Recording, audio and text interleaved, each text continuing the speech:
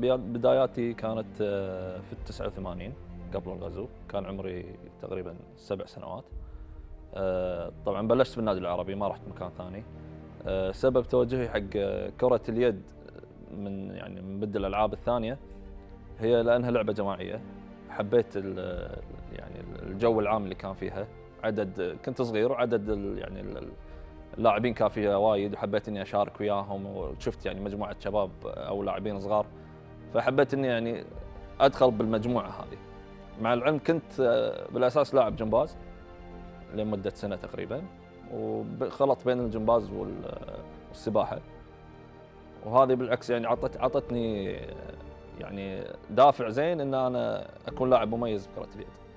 طبعا من بعد الغزو يعني الغاشم على دولة الكويت آه، كان في إيقاف مؤقت على حسب ما كان آه، المباني كانت مهدومة والأشياء اللي كانت آه، مترتبه عليها في الغزو.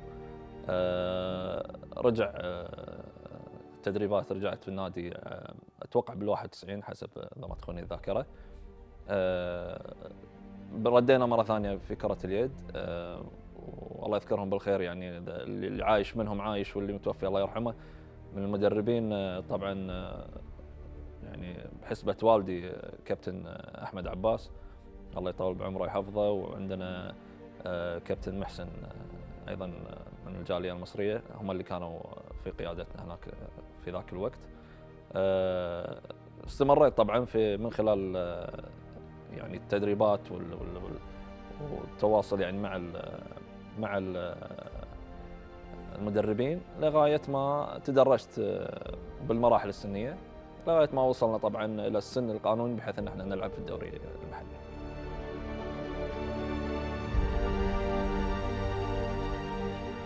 طبعا في بدايات المراحل السنية كان آه، يعني اختياري كلاعب ما كان آه، في مركز معين. آه، بديت كلاعب كان كنت حارس قبل لا أكون لاعب لأن المدرب شاف فيني خصلة المرونة فإحنا دائما كرة اليد يتميز الحارس بالمرونة. لكن أنا من نفس من نفسي يعني ما حبيت وضع الحارس. وطبعا كنت صغير واللاعبين يشوتون حيل والكور وعلى الوجه وكذا. فما حبيت ال- ال- المكان وحاولت إني أغير.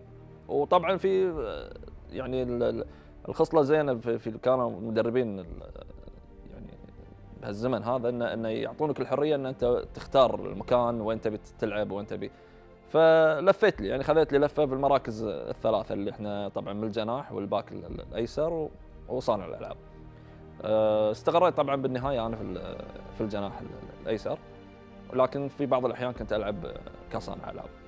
أه، تطورت بال- بال- باللعبة من طبعا توجيهات المدربين وكنت ملتزم طبعا بال- بالنادي.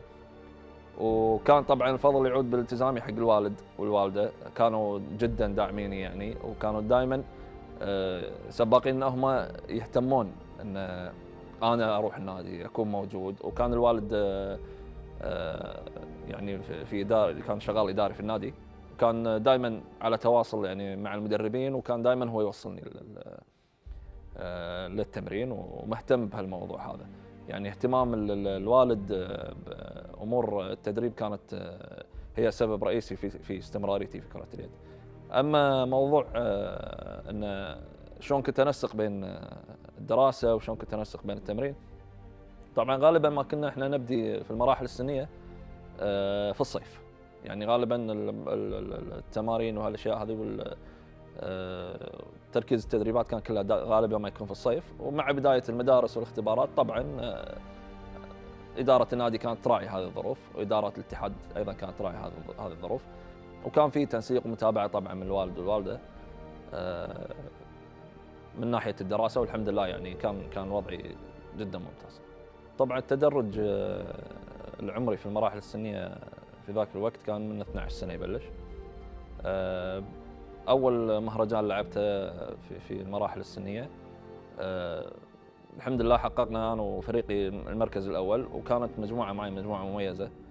آه، والحمد لله يعني من من من الفترة هذه كان في أنظار موجهة على الفريق ككل وعلي أنا يعني كشخص سواء من الاتحاد أو من النادي.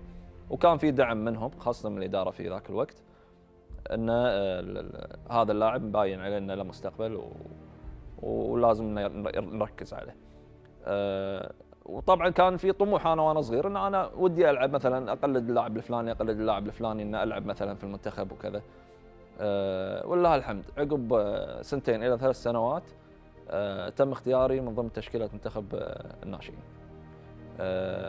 في سنة 97 أه رحنا طبعا مع منتخب الناشئين في بطولة في السويد والدنمارك وأسبانيا. كانت هذه اول أول انتقالة من يعني من المراحل السنية من الدوري المحلي إلى بطولات بطولات عالمية يعني انترناشونال.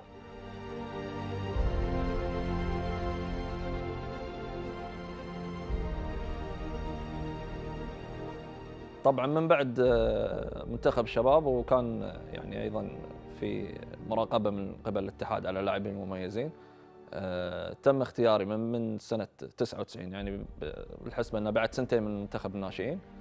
وكان طبعا بالنسبة لي وقت مبكر يعني أكبر من عمري.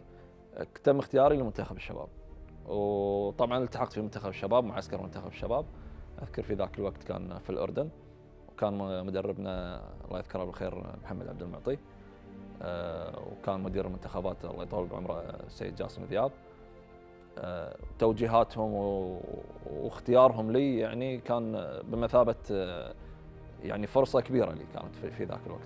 طبعا في منتخب الشباب 99 كنا المفروض إن إحنا نشارك في كأس العالم لكن لظروف سياسية تم منعنا من من السفر لذلك كان مشارك فيها الكيان الصهيوني وكان للأسف يعني كانت فرصة جدا طيبة إن إحنا نشارك فيها ونحقق نتيجة زينة ولأن الفريق كان كان زين لكن آه، يعني ظل السياسة اللي إحنا دائما الكويت تتخذها ضد الكيان الصهيوني ما شاركنا في هذا الوقت. طبعا بعد بطولة 99 كان في بطولة في سنة 2000 آه، في الجمهورية الإسلامية الإيرانية كانت مقامة في آه، منطقة مشهد حصلنا على المركز الأول في بطولة آسيا كان طبعا تحقيق المركز الأول هذا كان بعد فترة طويلة ما حقق المنتخب الكويتي مراكز أولى في في هذه البطولات. ومن بعدها انتقلنا من طبعا تأهلنا في بطولة آسيوية إلى كأس العالم وكان كأس العالم في جنيف عام 2000 صيف 2001. أه والله الحمد كان أدائنا جيد في البطولات العالمية لكن ما الله وفقنا طلعنا طبعا من الدور الأول.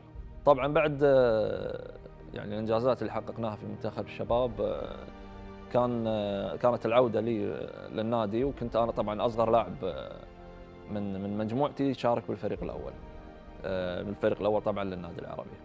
ومن رغم يعني صغر سني كنت يعني على أواخر ال 17 أوائل 18 سنة وكنت يعني لاعب أساسي وكنت لاعب يعني شبه مؤثر وطبعا بعد عودتي من منتخب الشباب تم استدعائي للفريق الأول آه، طبعا كان من قبل آه، مدرب الفريق الأول آه، السلوفيني بوبي. طبعا لأنه شافني طبعا مع المنتخب مع منتخب الشباب وأدائي مع المنتخب الأول في فيما بعد يعني. ساعدني إن أنا طبعا أكون يعني من الصفوف الأمامية في فريق النادي العربي. كنت طبعا وأنا صغير كنت أشوف اللاعبين الكبار المهم مثلا على سبيل المثال رائد زعابي آه، ماهر سالم الله يرحمه آه، عندي مثلا وليد عايش ناصر الحرز أسماء كثيرة مشعل الفقعان جمال النيفي أسماء كثيرة طبعا من النادي العربي مثلوا النادي العربي كان طموحي إن أنا أكون وياهم يعني بالصفوف الأمامية كلاعب إني أمثل الفريق الأول كلاعب أساسي. ولله الحمد توفقت فيها طبعا من بعد بوبي كان مدربنا الوطني الله يذكره بالخير حسن جابر أيضا اعطاني أعطاني دافع في الفريق الأول. كانت هذه طبعا أساس لإنتاج فريق يمثل النادي العربي وينافس في المستقبل وطبعا الناتج كان كان واضح من خلال منافستهم على البطولات المحلية.